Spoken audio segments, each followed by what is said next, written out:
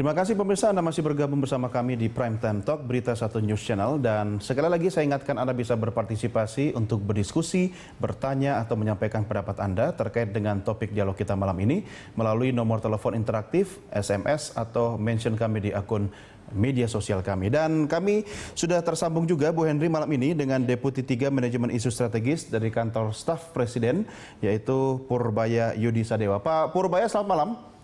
Selamat malam Mas Doni, apa kabar? Sehat Pak Purbaya, mudah-mudahan juga Pak Purbaya sehat dan ekonomi kita segera sehat walafiat lebih mantap lagi Pak Purbaya. Bagaimana Amin. Anda mengomentari terkait dengan kebijakan-kebijakan pemerintah yang terbit belakangan ini termasuk rencananya katanya pekan depan, saya baca di koran juga ini Pak Menko Darmin ada paket ekonomi baru yang akan diluncurkan pekan depan. Pak Purbaya? Itu kan normal ketika ekonomi melambat ya pemerintah atau bank sentral akan berusaha menciptakan stimulus-stimulus ke perekonomian yang, yang memba bisa membalikan arah perekonomian dari melambat menjadi semakin cepat. Yeah. Memang sekarang Kementerian Perekonomian sedang uh, menggodok langkah-langkah kebijakan stimulus yang bisa mendorong perekonomian supaya kita nggak terpuruk, tapi ke depannya tumbuh semakin cepat. Ya, soal tax holiday hmm. bagaimana Pak Pur? Tax holiday kan bukan kebijakan yang baru, itu udah lama sebetulnya sejak zamannya Pak SBY juga sudah ada Cuman kan yang memanfaatkannya hanya sedikit. Kalau nggak salah waktu itu hanya dua perusahaan yang memanfaatkan. Yeah. Karena satu hal mungkin kurang promosi atau kurang menarik atau prosesnya bertele-tele. Ini kan kita lihat sekarang udah ada empat perusahaan baru yang dapat, uh, fasilitas tax, tax holiday. Hmm. Jadi ini hanya mem, mem, apa, memudahkan proses dan mengaktifkan atau mengoptimalkan fasilitas yang ada yang bisa mengundang investor untuk berinvestasi di Indonesia. Saya pikir ini langkah yang baik. Tapi seberapa ampuh sih sebenarnya tes holiday ini dalam kondisi sekarang ini, Pak Purbaya? Kalau saya pikir sih ya investor ya suka-suka aja dapat tax holiday. uh, begini kita lihat kan eh, uh, 10 tahun terakhir sebelum sekarang ya itu cuma dua yang dapat. Yeah. Sekarang dapat empat. Jadi kan udah lumayan tuh ada kebaikan, ada hmm. kemajuan sedikit. Yeah. Mungkin ke depan akan lebih banyak lagi karena saya lihat ada target nggak berapa perusahaan kira-kira? Nggak ada kalau target sih tergantung banyak perusahaan tapi semakin semakin banyak semakin bagus maksudnya walaupun, begini Pak Pur kalau hmm. ternyata cuma ada empat perusahaan eh, kurang lebih di bawah 10 gitu apakah tidak perlu dievaluasi bahwa kebijakan tax holiday ini tidak terlalu menarik sebenarnya justru itu mas jadi kan sebelumnya hanya dua yeah. sekarang saya lihat dalam beberapa bulan udah empat hmm. udah di list yang mau daftar ada empat lagi yang mau ikut daftar lagi empat lagi jadi Positif semakin artinya. ini dipromosikan, semakin populer, semakin besar dampaknya. Jadi saya sih melihat sudah ada perbaikan-perbaikan dalam uh, sosialisasi tax holiday ini sehingga sudah semakin banyak perusahaan yang uh, masuk. Jadi evaluasinya sudah dilakukan dan sekarang buktinya semakin baik itu aja. Ya, saya punya catatan Pak Purbaya bahwa ada sekitar 11 perusahaan yang sudah melakukan permohonan tax holiday. Anda tentu lebih tahu validitas data itu. Dan di situ nilai investasinya cukup luar biasa begitu kan. Tapi apa yang menyebabkan belum semuanya disetujui? Mungkin ada dasar pertimbangan lain sehingga tidak semua perusahaan dalam waktu yang cepat ini langsung disetujui permohonan tax holiday-nya. Selama mereka memenuhi apa kriteria yang di, di, diumumkan oleh Kementerian Keuangan, harusnya sih bisa masuk dengan mudah. Tapi kan biasanya begini, kesalahan bukan di sisi regulator juga kadang-kadang di sisi pelaku bisnisnya juga lambat mengurusnya hmm. atau mereka pikir ah lama dapatnya sehingga malas ngurusnya juga tapi saya yakin dengan langkah-langkah yang sudah dilakukan oleh pemerintah saat ini ke depan akan semakin banyak orang yang mendaftarkan untuk mendapatkan tax holiday karena sudah terbukti prosesnya kelihatannya lebih cepat dibanding yang sebelumnya. Ya, baik. Pak Purbaya, saya ke Bu Hendri dulu. Bu Hendri, komentar Anda terkait tax holiday? Ya, jadi memang uh, tax holiday itu betul ini bukan terobosan baru untuk memberikan ya. stimulus ya. Lagu lama aransemen baru boleh dong, Bu. Betul. Jadi jadi kalau dalam kondisi krisis memang yang diperlukan stimulus yang diperlukan itu adalah spending dari pemerintah ya spending itu. Jadi kalau tax holiday itu kan nanti bayarnya nanti. Sehingga kalau mereka mau ekspansi kemudian nanti akan dibebaskan dari pajak kan. Hmm. Tetapi dalam kondisi seperti ini biasanya kan mereka memilih untuk konsolidasi ya, tidak untuk melakukan ekspansi. Nah, oleh karena itu yang dibutuhkan adalah menurut saya adalah kebijakan-kebijakan yang lebih bisa mendorong uh, swasta itu mau berekspansi, mau berproduksi lagi. Bu Henry, maaf Ya. Kalau belanja rutin termasuk spending yang Anda maksud nggak tadi? Kalau walaupun jumlahnya meningkat dari tahun ke tahun. Kalau belanja rutin itu kan belanjanya pemerintah, Hmm. ya. Tapi yang kita yang kita sebut dengan tadi memberikan insentif itu kan pada swasta. Ya, jadi bagaimana swasta kemudian mau ber, eh, berekspansi ya dalam kondisi seperti ini. Hmm. Ya. Nah, oleh karena itu yang harus dilakukan adalah stimulus satu kepada pasarnya. Jadi diciptakan pasar Hmm. sehingga kalau ada permintaan pasti mereka ada gairah untuk Ya. memproduksi lagi. Yang kedua adalah eh, diberikan insentif dari sisi biaya produksi. Nah ini kan ada di tangan pemerintah kan banyak, Mas Doni ya. Nah, pemerintah itu yang menetapkan harga listrik, pemerintah menetapkan harga gas, pemerintah menetapkan. Jadi banyak sekali sebenarnya eh, harga-harga yang ditetapkan pemerintah yang kalau itu kemudian dilakukan eh, apa namanya eh, kebijakan perubahan atau pengurangan biaya di situ maka itu adalah akan berdampak langsung terhadap biaya produksi. Nah jadi itu yang saya maksudkan bahwa kita berharap minggu depan akan keluar paket-paket kebijakan, tetapi paket kebijakan yang langsung bisa dirasakan, baik itu dari sisi eh, pasar tadi saya, saya sampaikan ada permintaan yang membesar dan dari biaya produksi akan berkurang. Permintaan yang besar ini memang perlu didorong eh, dana-dana APBN ini untuk crash program untuk mendorong gerakan permintaan di level bawah. Nah, Hmm. Tapi jadi kalau kok itu kesannya gini Bu, Iya. kebijakan memang dikeluarkan oleh pemerintah, tapi masih bersifat parsial ya. Iya. Sepertinya kurang ada koordinasi yang akhirnya dari satu kebijakan kebijakan lain itu saling mendukung. Bagaimana Anda Nah, mencermati? ini? makanya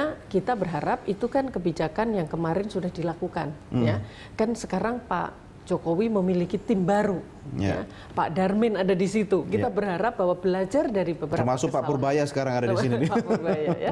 Jadi belajar dari yang ada yang lalu, maka sekarang ini yang ditunggu itu adalah eh, paket kebijakan yang langsung bisa dirasakan tadi. Jadi jangan seperti yang tadi katakan, misalnya tiba-tiba kemarin muncul ada eh, penaikan tarif biaya masuk, tetapi tidak dikaitkan dengan apakah itu memang untuk komoditas-komoditas yang sedang menjadi prioritas pemerintah untuk digenjot sektornya. Nah ini kan kalau seperti itu efektivitasnya menjadi tidak tidak besar gitu. Ya, baik. Baik, Bu Henry dan Pak Purbaya, ternyata sudah ada pemirsa yang bergabung bersama kita. Kita sapa dulu, mungkin ada masukan atau pertanyaan buat Anda berdua. Sudah bergabung Pak Mula Warman dari Makassar. Pak Mul, selamat malam. Malam, Agak karya Bapak. Kareba bagus. Oke, silakan. Ada pertanyaan atau komentar? Silakan Pak Mul. Eh, pertanyaan un- untuk Ibu Henry seperti Ya, ini. Bu Henry, silakan. Eh, Bu, eh, ini kan kita butuh kepercayaan, investor butuh kepercayaan, butuh trust. Tetapi pemerintah kok nggak memberikan itu? Pemerintah dari satu menteri ke menteri yang lain ngomong yang lain. Tidak ada krisis, tidak ada apa. Padahal semua indikator ekonomi yang dipaparkan tadi itu jelas-jelas ada mengancam itu krisis. Krisis itu udah di depan rumah kita. Tetapi pemerintah masih mengatakan ini dan itu dan itu dan seakan-akan nggak ada, masih jauh lah, masih di luar halaman. Iya. Padahal sudah di depan di depan pintu, sisa mengetuk pintu udah masuk tuh. Pak Mul, Nah, tapi ini- saya mau tanya Bapak. Bapak masih percaya sama pemerintah kan? Nah, saya nggak percaya kalau menteri yang satu dengan menteri yang lain beda. Oke, baik. Menteri yang satu dengan menteri yang lain beda. Kalau kita mendengar Gubernur BI, wah agak tenang sekali bahwa ini, ini, dan itu, dan itu. Tetapi kan faktanya, gimana itu Ibu Sapri? Ba- Bagaimana itu Pak? Baik, baik, baik Pak Mula Warman dari Makassar, terima kasih sudah bergabung bersama Prime Iya. Time Talk. Terima kasih, selamat malam dan Bu Henry ini juga nanti Pak Purbaya harus komentari. Anda dulu silakan Bu Henry. Ya, jadi memang yang diperlukan sekarang ini kan ada dua. Yang pertama adalah aksi kebijakan-kebijakan, yang kedua adalah mengelola kebijakan sendiri, manajemen kebijakan.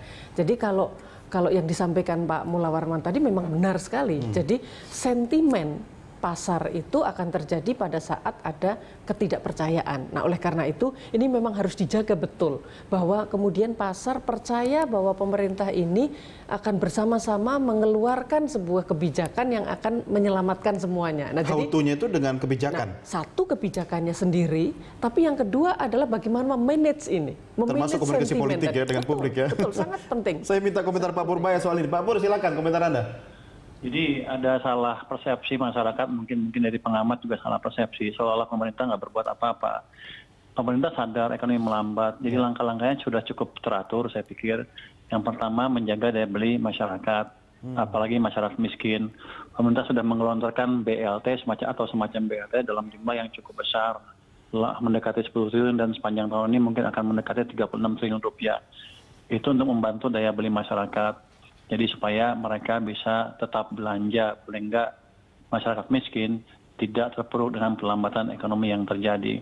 Yang kedua, pemerintah juga sedang mempercepat belanja pemerintahnya. Sekarang sudah ada rencana macam-macam termasuk sanksi untuk pemerintah daerah yang tidak bisa membelanjakan uangnya dengan tepat waktu.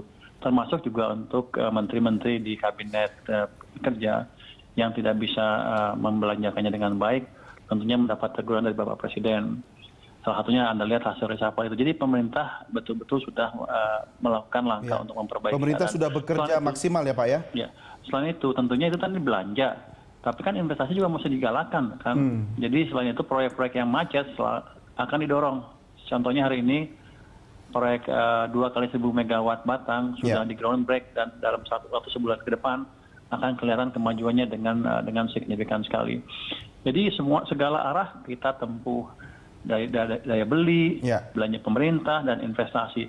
Dan yang arah lain yang yang tadi uh, yang tadi dikritik adalah tax holiday itu hmm. adalah salah satu langkah kecil atau sebagian langkah yang banyak untuk memperbaiki iklim investasi di sini. Yeah. Jadi jangan kita fokus ke belanja aja, tapi lupa yang lain-lain ya belanja, ya investasi, ya belanja pemerintah, ya daya beli masyarakat dijaga juga semuanya. Yeah. Jadi yeah upaya pemerintah cukup clear untuk memperbaiki arah ekonomi ke depan. Baik, Pak Pur, saya meminjam statement Anda tadi. Artinya memang pemerintah sudah berupaya maksimal, tapi ada miss communication atau misperception di kalangan masyarakat yang tadi direpresentasikan oleh statementnya Pak Mulawarman dari Makassar. Kalau masih ada distrust dari masyarakat karena mispersepsi, lalu apa yang dilakukan oleh kantor staf presiden untuk mengolah isu-isu strategis ini biar tidak ada mispersepsi sehingga tetap trust pada pemerintah?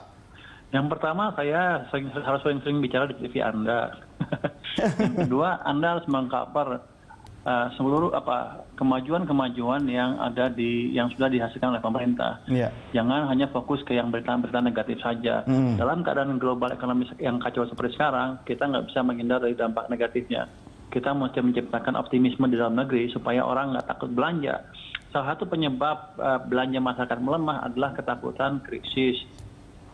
Kalau orang takut krisis ya orang menahan belanjanya. Makanya yeah. kita harus menciptakan optimisme di media maupun di, di media di segala macam media. Jadi saya pikir uh, langkah pemerintah sudah cukup banyak, hanya cover dari medianya tidak cukup fair. Oke, itu media yang mana harus jelas dong Pak? Saya pikir saya pukul rata semua media. Bukan nanti berita saya, satu kan maksudnya. Nanti ada yang nuntut saya, dituntut. Baik, Pak Purbaya dan Bu Hendri kita break dulu, kita lanjutkan di segmen berikutnya. Pemirsa tetap bersama kami, kami lanjutkan diskusi secara lagi.